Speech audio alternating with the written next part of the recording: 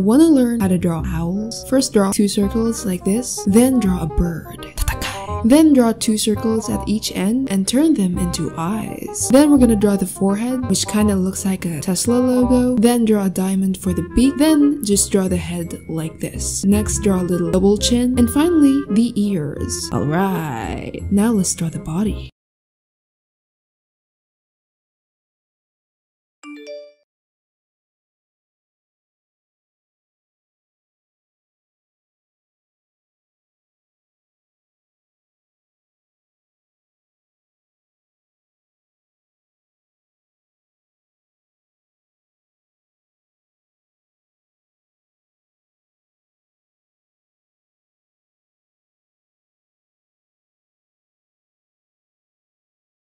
Lights, camera, action, baby. I want Chanel 9 boots. All these niggas steady he cause they know I'm